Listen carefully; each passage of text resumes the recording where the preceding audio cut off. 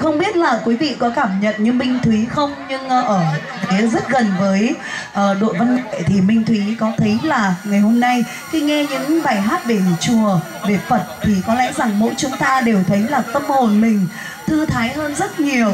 Và đặc biệt nhìn vào đội văn nghệ với một nụ cười ánh mắt hân hoan trong tiết mục uh, vừa rồi thì chúng ta có thể thấy là uh, tất cả những người con của quê hương chúng ta đều dâng lên Phật, dâng lên chùa những niềm hoan hỷ nhất, niềm vui, niềm hạnh phúc khi được đến với cửa chùa. Và thưa quý vị, thật đúng là con lên chùa dâng hương, mừng vía Đức Di Đà, theo tiếng nhạc du dương, hương hòa lan thơm ngát, con quỳ xin cung kính đất vô lượng quang minh những giai điệu rất tuyệt vời đã được vang lên. Chúng tôi xin được cảm ơn câu lạc bộ hướng dương, linh phương. Và ngay bây giờ, chúng ta hãy cùng chào đón tiết mục tiếp theo, một bài hát của nhạc sĩ ngọc lương. Với không khí khí chảy hội xuân rộn ràng, nô nức, sẽ trở lại với quý vị ngay lúc này. Xin được mời ca sĩ sơn ca sẽ đến với chúng ta qua bài hát chảy hội ngày xuân. Vâng ạ, một tràng pháo vỗ tay nồng nhiệt để chào đón tiếng hát của ca sĩ sơn ca trở lại sân khấu được không ạ? Xin mời quý vị cùng lắng nghe.